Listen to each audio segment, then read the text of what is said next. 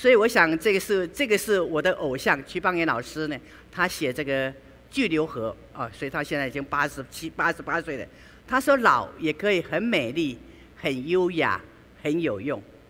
所以我想这就是他的一个名言，我非常的喜欢。那我现在呢要来讲一下我自己是怎么样子在在过日子啊，虽然有一点好像有点不好意思，不过我我是真的是。这样子在过我自己的生活哈，所以我六十以六十岁以前呢是工作百分百啊，我自己又是公司又是基金会，还两个基金会呢。我们洪建全基金会，我还做过国家文化艺术基金会的呃执行长，所以非常忙哦。所以一一天到晚在开会，一天到晚在呃在做事啊。可是到六十岁到六十五岁的时候呢，我就开始呃做做一下调整了。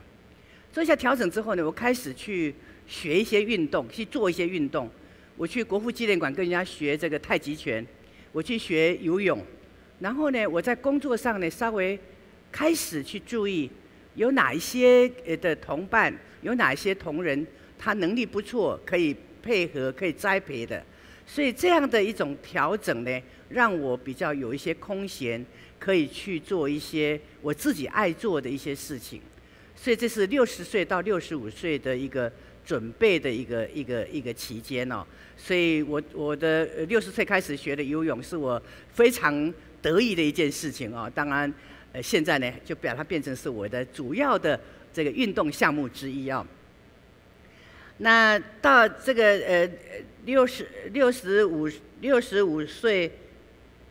呃六十五岁到七十岁之间。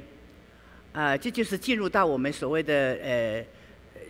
法定的这个老人的这个年龄了哦，所以呢，我就开始呃把我自己的生活做了一个很很重要的一个调整，就是刚刚所讲的，就由奢入俭啊。当然以前的生活因为太忙，所以有很多的帮手，有很多的方便，可是呢，你慢慢的你走入菜市场。你走入这个公共的一个领域，你走入到一种长民的一个生活的一个状态当中，你才会发现，哦，原来是这么可爱的人就在你四周。所以呢，就是六十岁到七十岁当中的一个调整，就是我把这个生活的安排就变成五十五十，就开始运动，而这个运动本身呢，就不要太局限于说你只做一种运动。或者只做你自己的呃喜欢的，或者要有人呃有同伴你才去啊。所以这个运动呢，一定要慢慢的你把它呃秩序化安排了之后，你就会呃变成是一个习惯，然后你就会喜欢它。那当然在这个当中呢，我自己对于我自己的阅读，我自己把我自己的兴趣也跟我的生活跟我的休闲。结就结合在一起，我开始跟我的呃邻居、跟我的同事，然后组这个读书会，然后我也跟我自己的把我自己的兴趣，在我的这个我们的基金会里头发展做这个自工的一个呃读书会带领人的训练。那我没有想到说，我们二十五年前开始做的这个我自己的喜欢阅读，变成是我基金会的工作的一个项目。然后因为这样，我又跟日本做一个结合，所以就变成是一个一个一个呃读书会的网络。而这个读书会网络真正到我自己身上来的时候呢，我自己受惠最多，因为我现在有很多很多不同的团体的读书会团体，有老的有小的，甚至于有很多的成功老化的一些关爱家族的读书会，那带领他们虽然不一定是看纸本的书。可是我们可以透过一些活动，透过一些演讲，透过一些观念的一个传输，让很多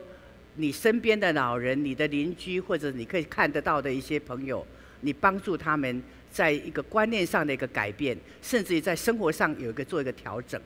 所以我自己觉得我的工作跟休闲的比例在五十跟五十的这个情况之下呢，至少让我自己的呃有用度啊，对社会的有用。跟这个呃自己生活里面的方向跟这个价值感不会失落掉，可是呢，我又跟我呃我婆婆的朋友、我的邻居的老太太，甚至于我身边的一些小朋友，也建立了一些一些有伴的关系。我还告诉他们说：“哎，小朋友，你们要知道啊，将来我年纪大的时候，你们要来跟我作伴哦。”所以现代人说养儿防老啊，可是我有个新名词叫养友防老哦，而且要小朋友，啊，年纪比你小的，嗯。所以这个日本的这个三浦这个作家三浦林子他讲过，他说呢，你你年纪大的人呢，要把你这个银发啊，就头发银发的那个流仪，你的你的呃呃人生经验呢，要传递给你比你年纪轻的人，你不要吝啬，因为他们就是将来的社会的一个主要的这个呃的的栋梁哦，所以你的步调就渐渐慢慢下来，所以这就是我们出去玩的一些照片。然后七十岁呢，我就是我现在的年龄，所以我现在呢，就是我的工作呢只有百分之三十，因为我栽培的这个呃办公室的呃我们的呃工作的同仁呢，已经可以独当一面了。我只是偶尔去看一看呢，有个地方可以走一走。百分之三十呢，还是蛮有用的啊。然后七十呢，就是在呃游山玩水。还兼着做志工哦，所以因为我对读书会的这个呃推广很有热心呢，所以我到哪里去，人家找我说，哎，你来跟我们讲个演讲吧，或者讲一讲，分享你的生活经验呢。我说好，我自己去。有时候呢，还自己贴车钱哦。我想这就是因为我自己在我自己的呃生活跟休闲当中，我找到我自己的意义。这个意义本身不是说你付我多少钱，我我我我才去做的，是我自己内在的一些东西啊。所以读书、运动、休闲跟做志工，就是我我现在的一个生活的一个一个重点。当然，偶尔到基金会去跟我们的同事交换一下意见。所以理由为乐，而且我自己为我自己的呃老年的生活，不一定要到老人院，不一定要到哪里。可是我的邻居这个敦亲睦邻的工作非常重要啊。所以我的老友小友非常的多，然后让我自己在生活中有很多的呃读书乐。大家看看，这就是刚刚。呃，我我们主持人所讲的这个国际牌阿妈，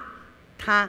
阿宙啊，她现在是阿宙啊，我是阿妈了哦。那这个是我的孙女啊，这个我在读，他们哎，我孙女最爱看我的书哎，真真的是太太识货了啊。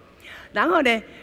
他们老少老少读书乐，对，你看还真的，他不到一岁哦，你相不相信啊？那这是我跟我们社区的人去探访我们淡水的那个那个呃树梅溪的这个照片哦。所以这样的一个，我把它归纳成为养生、养生还有养生哦，心心灵都要照顾到。这个生计也很重要，生计包括你老后的生活，包括你老后的一些财务的处理，人生这个生生财，这个你的呃财务啊什么样的一个一个安排，都要去想到哦。所以我想这样的一个三个原则，让我们自己过得还蛮开心的哦。所以我也我呃我我就想说，其实你也可以这么做啊！每每一个人，不管你多少岁，不要说，哎呀，我反正还年轻嘛。哎，错了，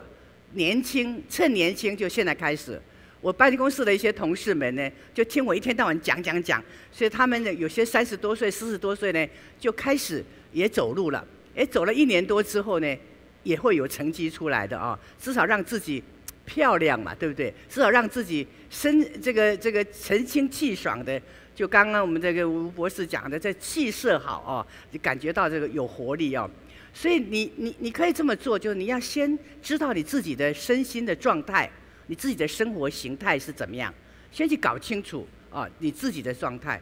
然后呢你自己就要下定决心。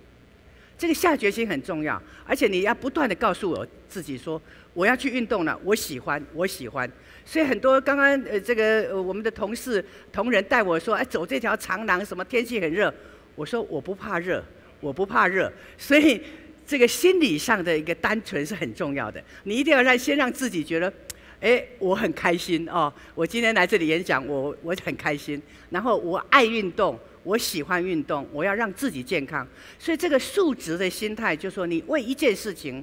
单纯的就去做，去做它就是了啊。然后走出去参加各种的活动，读书会啦、听演讲啦、运动场啊、美术馆啊，甚至于你年轻时候没有做的事情，你都可以做。这个自由行是我最近最得意的事情啊。那不要拘泥，一点一点持续的做，然后要宣告周周知，给自己鼓励。啊，然后你就告诉你的亲友，我现在要这样做了，然后你要活泼，要多样化，要发自内心的去喜欢，啊，不要在乎别人，也不要为别人。我想这次是你自己，有时候一个人也很重要啊。这张照片是是我我，这是我一个人看电影、走路、吃饭、旅行都非常开心哦。所以我要说，华丽不只是美丽，是内心的光华外射显露的光彩。大家看这位，大家都认识吧？电明星哎，甄嬛达，你看她脸上的皱纹。可是还是很美丽啊！这一位你们也认识吧？维维夫人，对不对？她快八十岁了，八十八十了，应该八十了，好漂亮哦。然后这位刚刚过世，可是她活得多么样的有精神，善国喜，善主教。那这位当然是我了，我也很开心呀。所以我想，呃，最后的结语就是，我们其实要需要改变看待老化的态度。老年不再是黄昏，而是人生中的黄金时代。所以多出来的人生要要怎么样？越活越华丽。谢谢大家。好，谢谢简静慧女士，谢谢。